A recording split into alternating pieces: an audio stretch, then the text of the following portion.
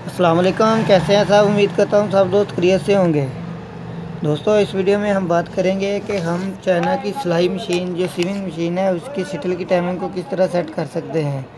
तो इसके लिए आपने क्या करना है? इसके लिए आपने जो भी काम करना है, वो मैं आपको इस वीडियो में बता दूँगा। ठीक है दोस्तों, वीडियो शुरू करने से पहले मेरी आपसे रिक्वेस्ट है, अगर आप मेरे चैनल पर पहली बार आए हैं तो मेरा चैनल लाजमी सब्सक्राइब करें और वीडियो को लाइक करें।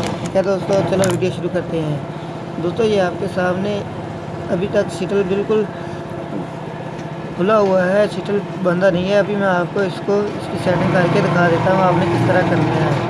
ठीक है दोस्तों, इसके लिए आपने अपनी सुई को नीचे कर लेना है निडल वार को नीचे कर लेना है। नीचे करने के बाद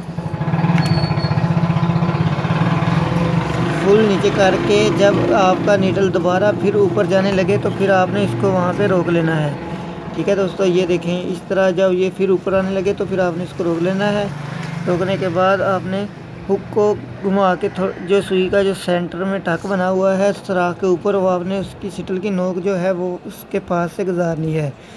उसके सेंटर में से गुजारनी है, और ये याद रखना है कि आपकी जो शटल की नोक है, वो सुई के साथ अटैच ना हो, और ज़्यादा फासले पर भी ना हो, बिल्कुल पास से गुजरनी चाहिए। जब जब बिल्कुल आपकी शटल की नोक सुई के पास से गुजरेगी तो फिर आपकी मशीन ना तो टाप करेगी और ना ही धागा तोड़ेगी। ठीक है दोस्तों? ये देखिए आपके सामने मैं आपको चेक करवा रहा हूँ। आपने किस तरह करना है ये आपको समझ आ रहा होगा। सिटल का, सुई का जो सेंटर वाला टाका है वो आपके सामने है। ये देखिए दोस्तों, यहाँ से लेके यहाँ सुई के सराख तक इसके, जहाँ से ये शुरू होता है और सुई के सराख के दरमियान जो फासला है आपने उसके सेंटर में शटल की नोक गुजारनी है, जिस तरह ये मैंने आपको गुजार कर दिखाई है। और याद रखें, ये बिल्कुल साथ में अटैच नहीं होनी चाहिए। अगर आप, आपकी सुई साथ, सुई के साथ शटल की नोक अटैच होगी तो आपकी मशीन धागा तोड़ेगी, और अगर ज़्यादा फासले पे होगी तो फिर आपकी मशीन टॉप करेगी।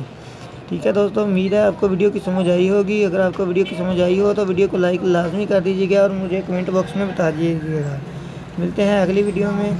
तब तक के लिए अल्लाह हाफिज़। ये देखिए दोस्तों सेटिंग बिल्कुल मैंने आपको करके दिखवा दिया किस तरह करनी है।